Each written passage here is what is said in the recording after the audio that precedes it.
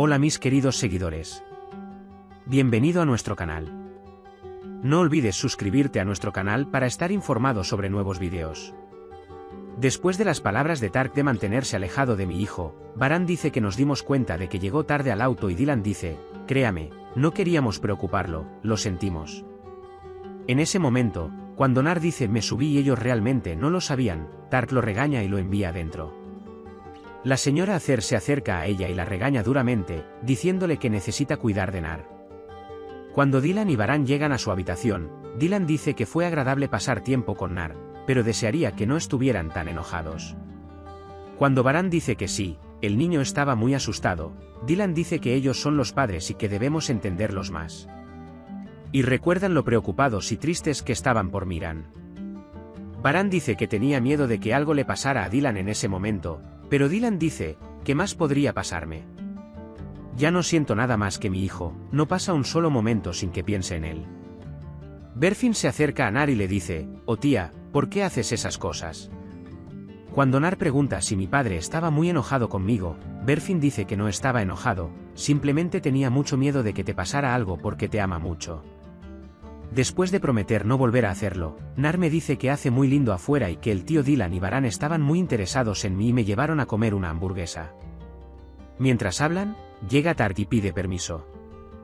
Nar tiene miedo y piensa que su padre lo castigará, pero Tark dice que no hay castigo, que no puedes acercarte a Dylan y Baran de ahora en adelante. Después de salir de la habitación, Nar Tark dice, pero me hicieron comer una hamburguesa. La señora Acer se entera de que a Nar se le cayó su collar de oración y lo busca por toda la mansión. Cuando Tark viene y pregunta qué pasó mientras estaba buscando, dice que tenemos que encontrar ese collar de oración lo antes posible. Tark dice que no te preocupes, lo buscaremos desde todos los ángulos. Luego, cuando la señora Acer pregunta por qué tuvo que ser tan grosero con Baran, ella dice, quería que Tark supiera cuál es su lugar. Por supuesto, la señora Acer debe saber que Baran solía gobernar una tribu enorme, para no despertar al gigante dormido y causar problemas innecesarios. Zeida dice que tienen ganas de despertarse. Parecen muertos. Todos se dispersan y empiezan a buscar el collar de oración. Suena el teléfono de Baran y Murad llama. Cuando digo que hay cosas sobre las que necesito hablar con Baran Abdo, Murad dice que no es posible porque estoy en mi ciudad natal. Cuando Baran me preguntó si podía cubrir todos los gastos y llamarlo a Estambul, el señor Murad se convenció y dijo que mañana vendría a la mansión Carabey en el primer avión. Dylan y Baran están muy emocionados después de esta conversación. Tark ordena a sus hombres que encuentren a Murad antes que Baran. Se encuentran con el tío Dylan Ahmed en el jardín y le preguntan cómo está. Cuando el tío Ahmed pregunta ¿estás bien? y Dylan sigue sin respuesta, el tío Ahmed se preocupa por él y lo obliga a sentarse a un lado. Cuando ella explica que solo puede soportar la ausencia de Miran pensando que está vivo, el tío Ahmed le brinda apoyo moral y le pide que ore. La señora Acer asigna al personal de la casa la tarea de encontrar el collar de oración. Cuando Zeida dice que Tark está muy apegado a Nar, la señora Acer dice que él solo hizo esas cosas para poner a Baran en su lugar.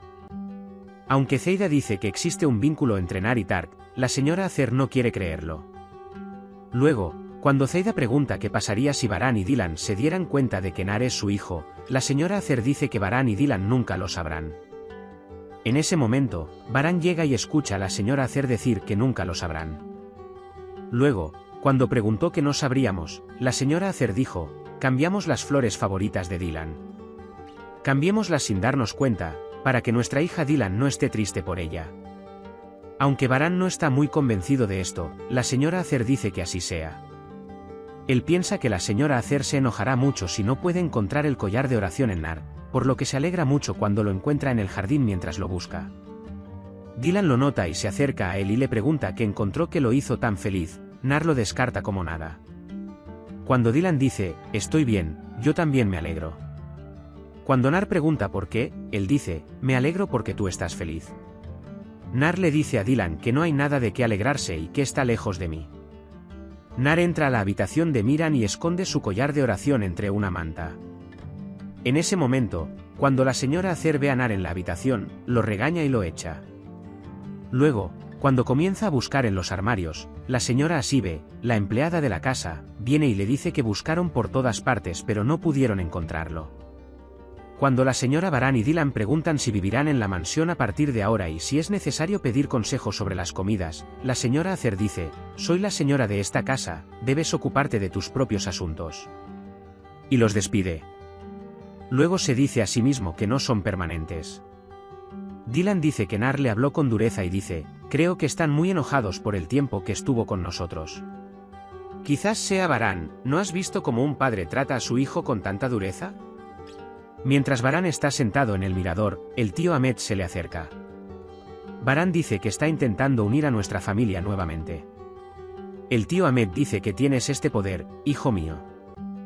Todos se acercan a la mesa para cenar y mientras Baran quiere sentarse en su lugar habitual, Tark también pone su mano para sentarse en la misma silla.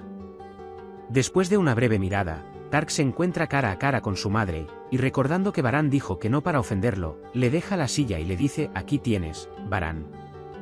Durante la cena, Dylan y Baran cuidan constantemente de Nar e intentan alimentarlo. Mientras se ocupan, Tark y los demás se sienten incómodos. Cuando Nar no puede cortar la carne y le dice que se la deje a los adultos, Tark Baran dice que puede hacerlo él mismo. Mientras Baran se vuelve hacia Tark y le dice que el cuchillo para carne está afilado, Nar desliza el cuchillo y se corta el dedo. Mientras Dylan y Baran sienten lástima por Nar, Tark se enoja con Nar y lo envía a su habitación.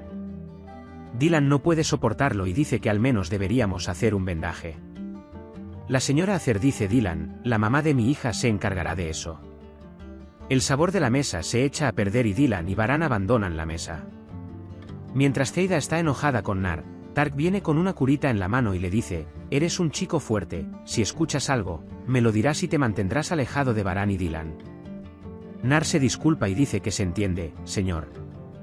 Baran está muy enojado por lo sucedido, pero Dylan intenta calmarlo diciéndole que son una familia diferente pero que no podemos interferir con ellos.